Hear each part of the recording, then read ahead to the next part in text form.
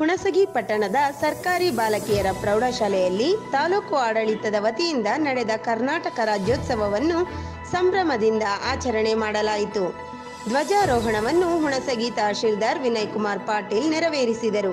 ಈ ಸಂದರ್ಭದಲ್ಲಿ Hunasagi CPI Daulat N K, PSI Bapugouda Patil ಉಪಖಜಾನೆ ಅಧಿಕಾರಿ ಸಣಕೆಪ್ಪ ಕೊಂಡಿಕಾರ್, ಪಟ್ಟಣ ಪಂಚಾಯಿತಿ ಮುಖ್ಯಾಧಿಕಾರಿ ಅರುಣ್ ಚೌಹಾಣ್ ಕಂದಾಯ ನಿರೀಕ್ಷಕ ಬಸವರಾಜ್ ಬಿರಾದರ್, ವೆಂಕಟೇಶ್ ಎಸ್ ಪ್ರದಾಸ್, ರಮೇಶ್ ಪಾಟೀಲ್, ಶಿವಲಿಂಗ ಪಟಣಶೆಟ್ಟಿ ನಂದನಗೌಡ ಬಿರಾದರ್, ಶಂಕರ್ ಗೌಡ, ಫೌಜಾದರ್ ಸೇರಿದಂತೆ ತಾಲೂಕು ಆಡಳಿತದ ಅನುಷ್ಠಾನ ಅಧಿಕಾರಿಗಳು ಹಾಗೂ ಎಲ್ಲ ಇಲಾಖೆಯ ಅಧಿಕಾರಿಗಳು ಹಾಜರಿದ್ದರು.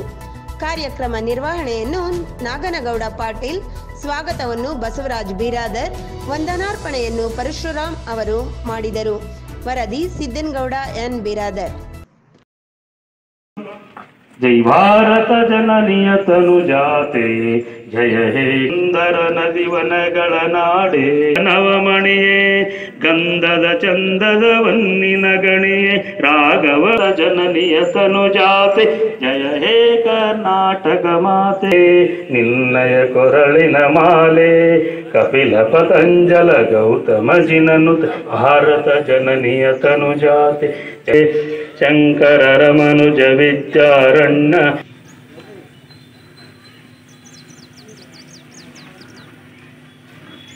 ಎಲ್ಲ ಪೊಲೀಸ್ ಇಲಾಖೆ ಸಿಬ್ಬಂದಿ ವರ್ಗ ಧ್ವಜವಂದನೆಯನ್ನು ಮಾಡ್ತಾ ಇದ್ದಾರೆ.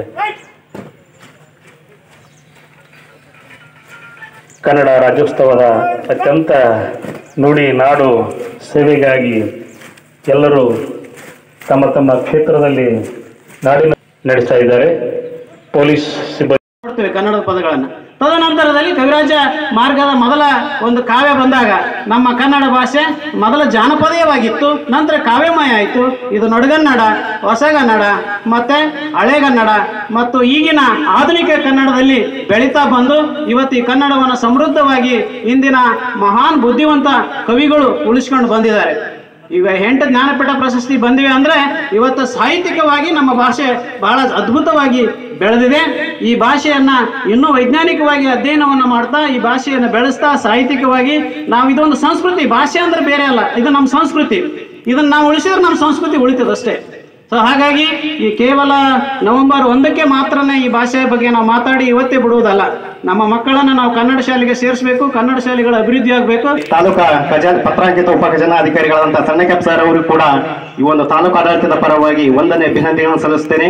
ಜೊತೆಗೆ ತಾಲೂಕು ಮಟ್ಟದ ಅನುಷ್ಠಾನ ಅಧಿಕಾರಿಗಳು, ಕನ್ನಡ ಪರ ಸಂಘಟನೆಗಳ ಪದಾಧಿಕಾರಿಗಳು ಪತ್ರಿಕಾ ಮಿತ್ರರು, ಜೊತೆಗೆ ಎಲ್ಲ ಕನ್ನಡದ ಕಟ್ಟಾಳುಗಳಿಗೂ, ಕನ್ನಡದ ಮನಸ್ಸುಗಳಿಗೂ, ಎಲ್ಲ ಸಿಬ್ಬಂದಿ ವರ್ಗದವರು, ಎಲ್ಲ ಇಲಾಖೆಯ ಅಧಿಕಾರಿಗಳಿಗೂ ಕೂಡ ಈ ಸಂದರ್ಭದಲ್ಲಿ ಎಲ್ಲರಿಗೂ ಕೂಡ ವಂದನೆ ಅಭಿನಂದನೆ ಸಲ್ಲಿಸ್ತಾ ಈ ಕಾರ್ಯಕ್ರಮವನ್ನು ಇಲ್ಲಿಗೆ ಸಮಾಪ್ತಿಗೊಳಿಸಿ. ಜೈ ಹಿಂದ್, ಜೈ ಕರ್ನಾಟಕ ಮಾತೆ.